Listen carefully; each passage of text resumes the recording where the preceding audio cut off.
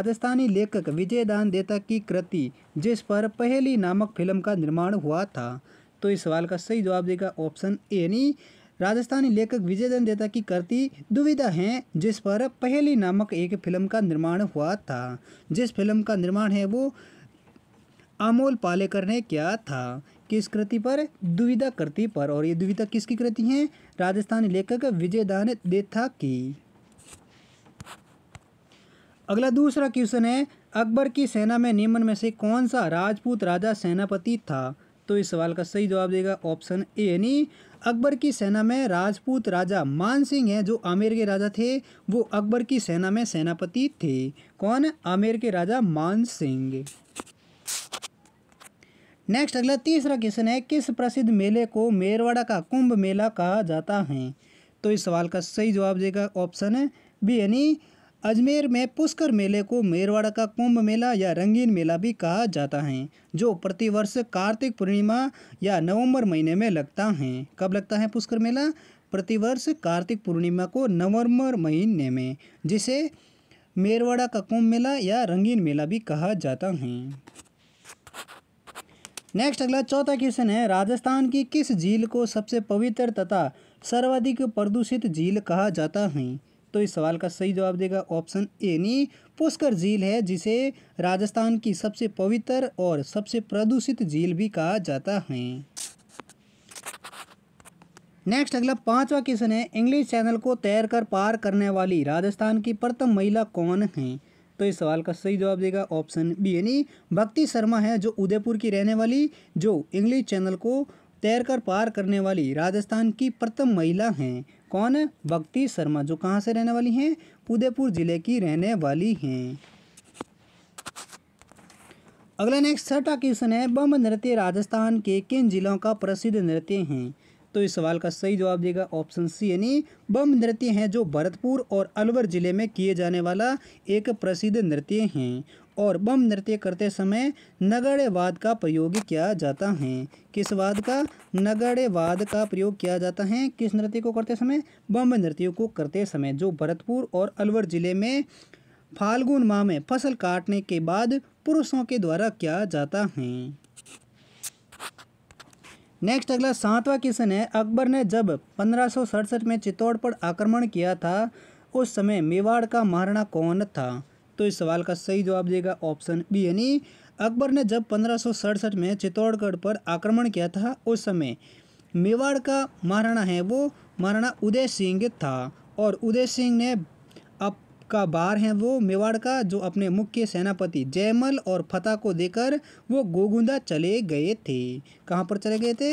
गोगुंदा चले गए थे और ये कार्यभार किसको संभाला था? अपने सेनापति जयमल और फतेह को। नेक्स्ट अगला आठवां क्वेश्चन है अग्नि नृत्य का उद्गम किस ज़िले में हुआ था? तो इस सवाल का सही जवाब देगा ऑप्शन ए, यानी अग्नि नृत्य का उद्गम है जो बीकानेर के कतरिया सर गाँव में हुआ था और यह नृत्य जसनाती संप्रदाय से संबंधित पुरुष प्रधान द्वारा अग्नि के कोयलों पर किया जाता है। कहाँ पर? बीकानेर कतरिया सर से इसका उद्गम था और किस नृत्य से? अग्नि नृत्य का। नेक्स्ट, अगला नौवा क्वेश्चन है। मोतीलाल तेजावत का संबंध निम्न में से किस आंदोलन से था? तो इस सवाल का सही जवाब देगा ऑप्शन डी। यानी मोतीलाल तेजावत का जो संबंध है, वो एक ही आंदोलन से था और आपको बता दें कि मोतीलाल तेजावत को आदिवासियों का मसीहा और भील जाति के लोग हैं जो मोतीलाल तेजा जी तेजावत को बाबजी के नाम से पुकारते थे। नेक्स्ट, अगला दसवा क्वेश्चन है, राज्य स्तर पर मंत्री परिषद के मंत्रियों की नियुक्ति कौन करता है? तो इस सवाल का सही जवाब देगा ऑप्शन बी। यानी राज्य स्तर पर जो मंत्री परिषद के मंत्री होते हैं, उनकी नियुक्ति मुख्यमंत्री के परामर्श से राज्यपाल के द्वारा की जाती हैं। नेक्स्ट, अगला ग्यारहवा क्वेश्चन है, देव सोमनाथ का मंदिर किस नदी के किनारे बना है? तो इस सवाल का सही जवाब देगा ऑप्शन ए, यानी देव सोमनाथ का मंदिर है, वो सोम नदी डूंगरपुर ज़िले में बना हुआ है। किसका नदी के किनारे? सोम नदी के। और ज़िले का पूछे तो किस ज़िले में? डूंगरपुर ज़िले में देव सोमनाथों का मंदिर बना हुआ है। अगला नेक्स्ट बारहवा क्वेश्चन है, बूंदी में रंग महल का निर्माण किसने करवाया था? तो इस सवाल का सही जवाब देगा ऑप्शन बी, यानी सत्रह साल हैं जिन्होंने बूंदी में रंग महल का निर्माण करवाया था। नेक्स्ट अगला तेरहवा क्वेश्चन है, जयपुर के बनारस के नाम से प्रसिद्ध प्राचीन पवित्र कुंड, जहाँ गलवा ऋषि का आश्रम है। तो इस सवाल का सही जवाब देगा ऑप्शन बी यानी जयपुर के गलता में बनारस के नाम से प्रसिद्ध प्राचीन पवित्र कुंड, जहाँ गलवा ऋषि का आश्रम है, वो कहाँ पर है? गलता जयपुर में। नेक्स्ट अगला चौदवा क्वेश्चन है, मेवाड़ में पर्दामंडल आंदोलन का संस्थापक कौन था? तो इस सवाल का सही जवाब देगा ऑप्शन डी। यानी मेवाड़ में पर्दामंडल का संस्थापक है वो माणिक्य लाल वर्मा था। और मेवाड़ पर्दामंडल की स्थापना है जो माणिक्य लाल वर्मा द्वारा 1938 में की गई थी। कब की गई थी? मेवाड़ पर्दामंडल की स्थापना 1938 में और किसके द्वारा? माणिक्य लाल वर्मा द्वारा। नेक्स्ट, अगला पंद्रहवा क्वेश्चन है। राजस्थान के विख्यात इतिहासकार जो एक समाज सुधारक भी थे, वे कौन हैं? तो इस सवाल का सही जवाब देगा ऑप्शन सी, यानी हरबिलास शारदा हैं जो राजस्थान के एक विद्या विख्यात इतिहासकार भी थे और साथ साथ में एक समाज सुधारक भी थे। कौन? हरबिलास शारदा अगला नेक्स्ट सोलह क्वेश्चन है। राजस्थान की मरु भाषा का उल्लेख किस प्राचीन ग्रंथ में मिलता है? तो दोस्तों, इस सवाल का सही जवाब है वो आप कमेंट सेक्शन में लिखकर बताइए। तो ऑप्शन है रामविलास में पृथ्वीराज रासों में या कुवल या माला में या इनमें से कोई नहीं। और आपको बता दें कि ये ग्रंथ हैं वो उदोदन सूरी द्वारा लिखित ग्रंथ हैं, जिसमें मरु भाषा का उल्लेख मिलता है। और ग्रंथ वो कौन सा है उदोदन सूरी के द्वारा लिखे हैं, जिसमें मिलता है, वो आप कमेंट में लिखकर ज़रूर बताइए। अगला नेक्स्ट सत्तरवा क्वेश्चन है, मुख्य सचिव की नियुक्ति किसके द्वारा की जाती है? तो इस सवाल का सही जवाब देगा ऑप्शन बी, यानी मुख्य सचिव की जो नियुक्ति है, वो राज्य के मुख्यमंत्री के द्वारा की जाती हैं। नेक्स्ट, अगला, अठारह क्वेश्चन है, निम्न में से किस दुर्ग को गलियों का दुर्ग और पश्चिमी सीमा का प्रहरी कहा जाता है? तो इस सवाल का सही जवाब देगा ऑप्शन ए, यानी जैसलमेर का दुर्ग है, जिसे गलियों का दुर्ग तथा पश्चिमी सीमा का प्रहरी भी कहा जाता है। किस दुर्ग को? जैसलमेर के दुर्ग को। नेक्स्ट अगला उन्नीसवा क्वेश्चन है। राजपूतों के द्वारा जिन दासियों को उपपत्नी के रूप में स्वीकार नहीं किया जाता था, उन्हें कहा जाता है। तो इस सवाल का सही जवाब देगा ऑप्शन सी, यानी राजपूतों में जो जिन दासियों को उपपत्नी के रूप में स्वीकार नहीं किया जाता था, उन्हें दावड़ी कहा जाता था।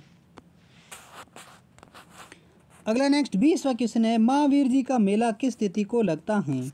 तो इस सवाल का सही जवाब देगा ऑप्शन ए, यानी महावीर जी का मेला है वो चैत्र शुक्ल त्रयोदशी को करौली ज़िले में लगता है। कहाँ पर लगता है महावीर जी का मेला? करौली ज़िले में। और कब लगता है? वो लगता है चैत्र शुक्ल त्रयोदशी को। नेक्स्ट अगला इक्कीसवा क्वेश्चन है, खेतरी महल का निर्माण किस शासक द्वारा करवाया गया था?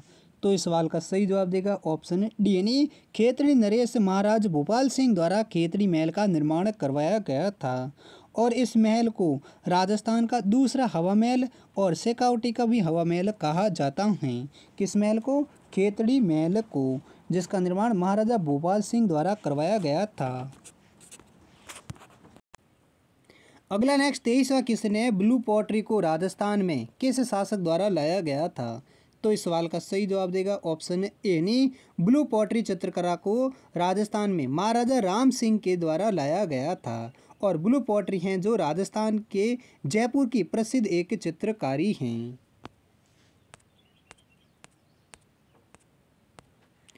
अगला नेक्स्ट चौबीसवा क्वेश्चन है, राजस्थान में कौन सा स्थान नमदा के उत्पादन के लिए प्रसिद्ध हैं?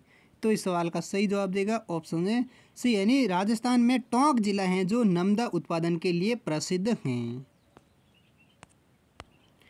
नेक्स्ट, पच्चीसवा क्वेश्चन है, राजस्थान डायरी नामक ऑनलाइन श्रृंखला किस क्षेत्र से संबंधित हैं?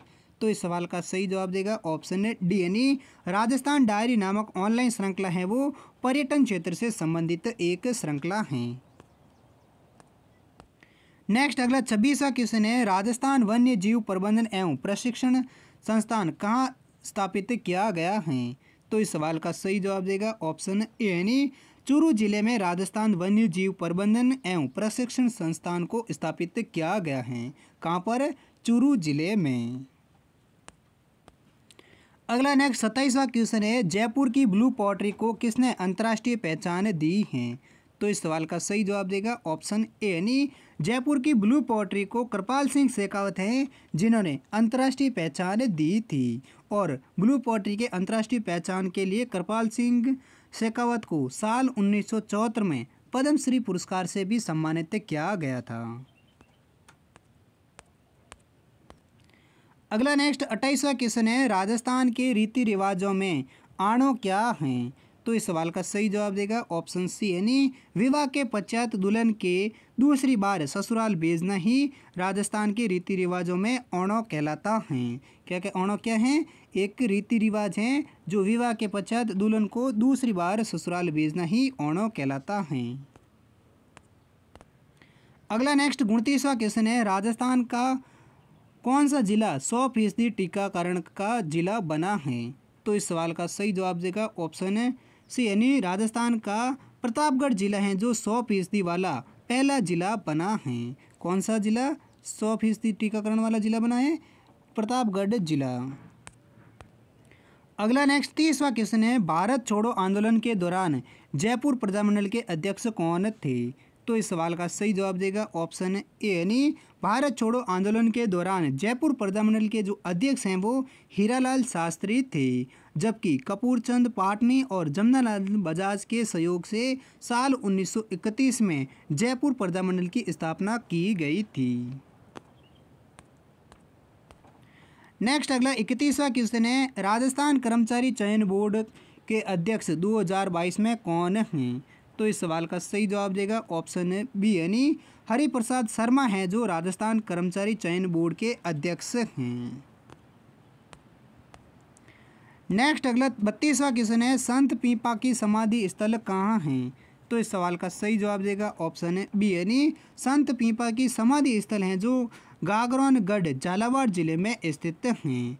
जबकि संत पीपा की जो गुफा हैं, वो टोंक ज़िले के के टोडा ग्राम में स्थित हैं। अगला नेक्स्ट तैतीसवा क्वेश्चन है राजस्थान के कौन से संत कर्तव्यासर से संबंधित हैं? तो इस सवाल का सही जवाब देगा ऑप्शन है बी यानी राजस्थान के संत सिद्ध जसनाथ जी हैं, जिनका संबंध कर्तव्यासर बीकानेर से हैं। अगला नेक्स्ट चौतीसवा क्वेश्चन है रूपायन संस्थान बोरुंदा कहाँ पर स्थित हैं? तो इस सवाल का सही जवाब देगा ऑप्शन बी, यानी रूपायन बोरुंदा संस्थान है जो राजस्थान के जोधपुर ज़िले में स्थित हैं और इसकी स्थापना 1960 में कोमल कोठारी के द्वारा की गई थी। अगला नेक्स्ट पैंतीसवा क्वेश्चन है भारतीय वन्य जीव संरक्षण अधिनियम राजस्थान में कब लागू हुआ था? तो इस सवाल का सही जवाब देगा ऑप्शन है सी, यानी भारतीय वन्य जीव संरक्षण अधिनियम है जो राजस्थान में उन्नीस में लागू हुआ था, जबकि इसे पूरे भारत भारत में है, वो उन्नीस में लागू किया था, लेकिन राजस्थान में ये एक सितंबर उन्नीस सौ तिहत्तर में लागू हुआ था। नेक्स्ट, अगला छत्तीसवा क्वेश्चन है, राजस्थान ब्रज भाषा अकादमी की स्थापना कब और कहाँ की गई थी? तो इस सवाल का सही जवाब देगा ऑप्शन है सी, यानी राजस्थान ब्रज भाषा अकादमी की स्थापना जयपुर में उन्नीस में की गई थी। इसी प्रकार नेक्स्ट अड़तीसवा क्वेश्चन है, भारतीय लोक कला मंडल कहाँ पर स्थित हैं? तो इस सवाल का सही जवाब देगा ऑप्शन है बी, यानी भारतीय लोक कला मंडल है जो राजस्थान के उदयपुर ज़िले में स्थित हैं और भारतीय लोक कला मंडल की स्थापना है वो साल उन्नीस सौ बावन में की गई थी। नेक्स्ट अगला उनचालीसवा क्वेश्चन है, राजस्थान में मृत्यु भोज अधिनियम कब लागू हुआ था? तो इस सवाल का सही जवाब देगा ऑप्शन है यानी राजस्थान में मृत्यु भोज अधिनियम है जो साल 1960 में लागू हुआ था। नेक्स्ट अगला चालीसवा क्वेश्चन है, हस्तशिल्प न्यार्थ संवर्धन परिषद की स्थापना कब की गई थी? तो इस सवाल का सही जवाब देगा ऑप्शन है बी यानी उन्नीस सौ छियासी और सत्यासी में हस्तशिल्प न्यार्थ संवर्धन परिषद की स्थापना की गई थी। अगला नेक्स्ट इकतालीसवा क्वेश्चन है बाडोली की नटरा शिव मूर्ति किस शैली में बनी है? तो इस सवाल का सही जवाब देगा ऑप्शन बी यानी बाडोली की नटरा शिव मूर्ति हैं जो प्रत्यार शैली में बनी हुई हैं। और साल उन्नीस में ये चोरी होकर इंग्लैंड पहुँच गई थी, जिसे हाल ही में वापस भारत लाया गया है। किस मूर्ति को? नटराज शिव मूर्ति को, जो प्रत्यार शैली में बनी हुई हैं। नेक्स्ट, अगला बयालीसवा क्वेश्चन है, कृषि मंड, उपज मंडी अधिनियम कब आया था? तो इस सवाल का सही जवाब देगा ऑप्शन ए, यानी कृषि उपज मंडी अधिनियम है, जो साल 1961 में आया था। अगला नेक्स्ट क्वेश्चन है, राजस्थान को कितने संभागों में बांटा गया था? तो दोस्तों, इस सवाल का सही जवाब है, वो आप कमेंट सेक्शन में लिखकर ज़रूर बताइए। यानी राजस्थान के तैंतीस जिलों को कितने संभागों में बांटा गया है? ऑप्शन है पाँच छः सात या आठ संभागों में। इन चारों से कौन सा ऑप्शन सही है, वो आप कमेंट सेक्शन में लिखकर ज़रूर बताइए। इसी प्रकार नेक्स्ट अगला अंतिम क्वेश्चन है, राष्ट्रीय विवेकानंद कहाँ स्थापित किया गया है? तो इस सवाल का सही जवाब कौन सा है, वो आप कमेंट सेक्शन में ज़रूर लिखकर बताइए। तो ये दोस्तों, इस सवाल का सही है, वो है राष्ट्रीय विवेकानंद विश्वविद्यालय कहाँ स्थापित किया गया है? तो दोस्तों, ये थे पैंतालीस राजस्थान के कुछ मोस्ट इंपॉर्टेंट क्वेश्चन आंसर, जो आपकी रीड भर्ती परीक्षा के लिए काफ़ी मोस्ट इंपॉर्टेंट क्वेश्चन आंसर हैं। उम्मीद करता हूँ ये सभी क्वेश्चन आपको अच्छे से याद हो गएँगे अगर याद हो गए तो इस वीडियो को लाइक करें, चैनल पर पहली बार है तो चैनल को भी ज़रूर सब्सक्राइब करें। और दोस्तों, हम मिलते हैं अगली वीडियो के साथ। तब तक के लिए जय हिंद, वंदे मातरम।